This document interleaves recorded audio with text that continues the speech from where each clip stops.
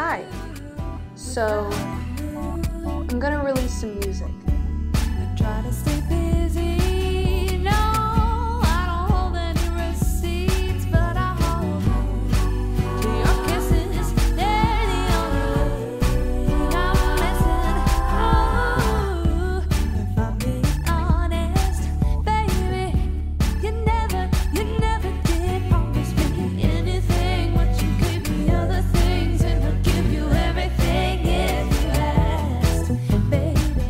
But more importantly, I'm gonna release a calendar.